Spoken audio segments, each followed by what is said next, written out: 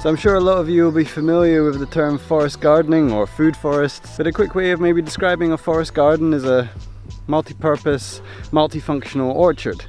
Um, but unlike a conventional orchard that maybe focuses on just one or two um, varieties of fruit or nut crops, a forest garden is a mixture of high yielding shrubs and trees and herbs that have a beneficial use to either the people that have planted this forest garden or the animals that are around it. So a forest garden isn't just a place to grow fruit, it's a place to grow everything that we need. Forest gardens are a mimic of naturally occurring forests. A forest in its own right can look after itself, can take care of its own fertility needs, and has um, very intricate relationships with all the other plants and animals and microbes that share the ecosystem of a forest. And the concept is if we can take that model um, and copy that natural architectural pattern of a forest and replace some of the species with higher yielding trees and shrubs such as fruit trees and um, herbs, then we can have quite a sustainable system that should have very little to no maintenance requirements, especially after the first few years, and be a very abundant food system.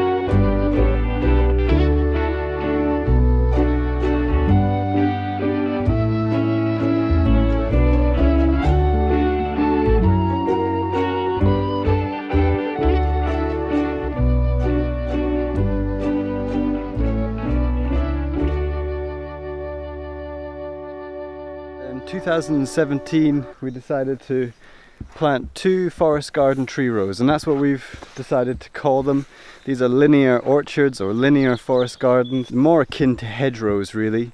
Uh, the typical forest garden is mimicked or inspired by the architecture of a natural forest and we have an area of forest garden which we planted in the early days of Tap o' Noth Farm which is more sprawling and, and over a larger piece of land but here in the market garden, this is our business and we wanted to experiment with planting a forest garden which has all the benefits of that forest garden design, but putting in a straight row.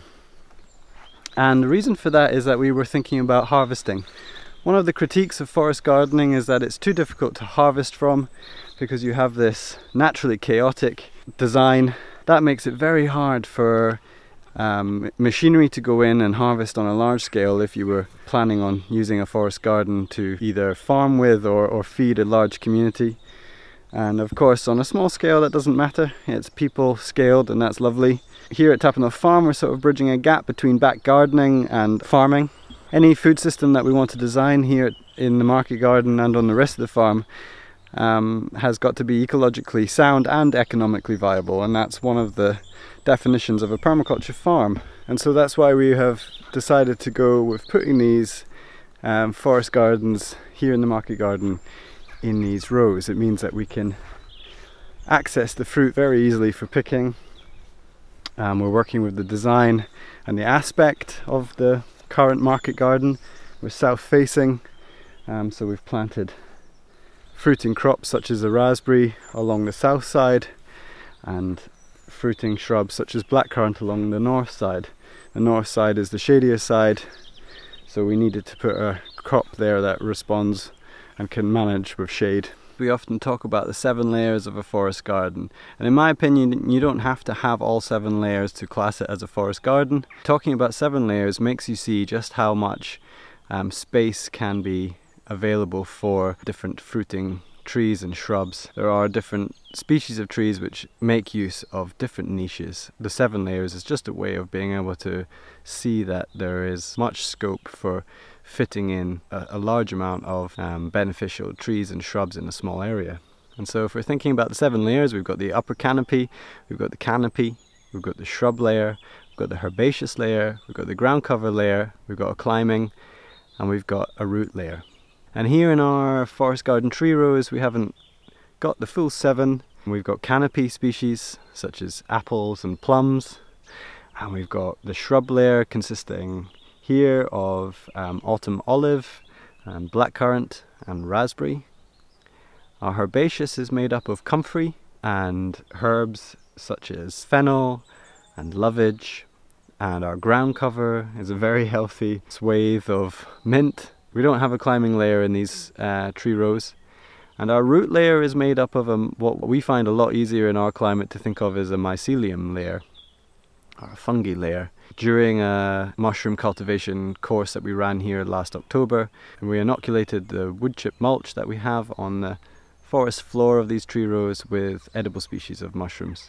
A very busy and full and well designed area. So like I said, these tree rows were first planted in 2017 and we started by putting in the canopy species. Here we have an apple tree on dwarf rooting stock.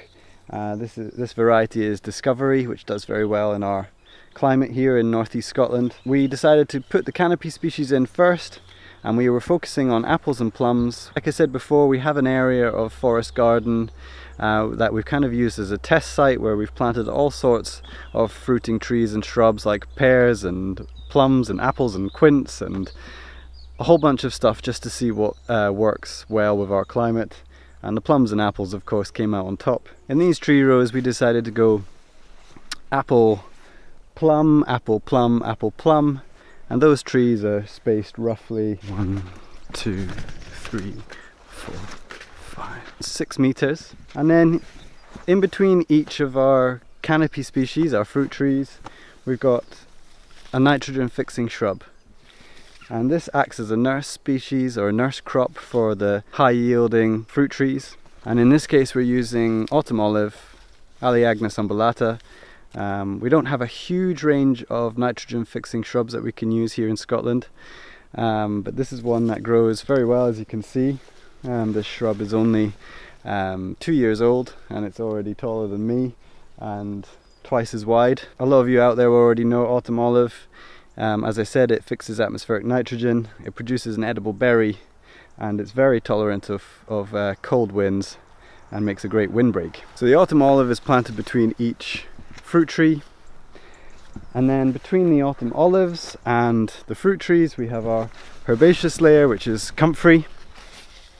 Again, comfrey, fantastic herb. We have it planted throughout the garden. This is Russian comfrey or Bocking 14, so it's sterile, it doesn't set seed, um, which means you can control it a lot more throughout your gardens. And um, we plant this next to all the fruit trees, especially here in the tree rows, um, a dynamic accumulator, comfrey has very large tap roots so can access minerals and nutrients that maybe the tree roots can't. So when the comfrey dies back in autumn, all those nutrients are made accessible to the trees, but we can accelerate that by chopping and dropping the comfrey um, throughout the growing season. Comfrey can be cut back up to four times every year um, and given as a mulch around the base of the trees. Another shrub layer aspect to our forest garden tree rows here is blackcurrant. Um, so classic uh, soft fruit variety uh, for our climate and we've got at least 30 meters of it here. All of our tree rows are 30 meters long here in the market garden by about 3 meters wide. Um, so like I said, the, the blackcurrant here growing on the shadier side of the tree rows. And on the sunnier side, the south facing side, we've got 30 meters of raspberries. And these are an autumn fruiting variety. This is Autumn Bliss. And then as I mentioned, we have our ground cover layer and this is uh, mint, of course, this kind of works its way into the herbaceous layer as well. Um, it also works its way into your garden if you're not careful. I might not plant these again if I redesigned or, or planted similar systems, but it does a very good job at smothering out all the potential weeds and grasses that could be coming in. And we do use mint a lot. Um, certainly a lot of mojitos being drunk in the summer. Um, we use the mint um, as a bedding in our hen houses. And we've also got different herbs dotted around the tree rows. This is fennel, we've got lovage, um, marigolds and um, nasturtium. We planted these tree rows in 2017. The first thing we did after identifying where we wanted the rows was to mulch the grass. So we put down layers of cardboard and any uh, sort of organic material that we could find to blanket out the grass and then we covered it all in a very thick layer of wood chip and we did this because we know that the wood chip is a food source of fungi and we wanted to encourage a fungal dominant soil around the trees that are growing here um, because perennial trees and shrubs on the whole mostly respond well to a fungal dominant soil or at least a large um, population of fungi in the soil. And then we planted through that wood chip uh, putting in our canopy species with our shrubs in between the trees and to the north and the south of the trees all spaced so we can still access the fruit trees uh, for harvesting. We prune the fruit trees to keep them at a manageable size so that we can harvest. We were conscious that um, because of the fact that we've put these fruit tree rows um, east to west down a south facing slope, we didn't want to um, plant the fruit trees too close together because we didn't want to cast shade on the vegetable beds. Market garden being our main business, we didn't want to cast shade on these, so we have set the trees, the, the large fruiting trees quite far apart. But it is a fantastic place to come and harvest from. It really does feel a lot more like going foraging uh, in a hedgerow, reaching past um, the shrub, fruiting shrub layers, reaching up high to get your your plums or apples down off of the trees. It really is one of our favourite parts of the market garden to be in. Thanks for watching everyone. If you want to watch more, then please do head over to our YouTube channel where you'll find full-length vlogs and other tap shorts.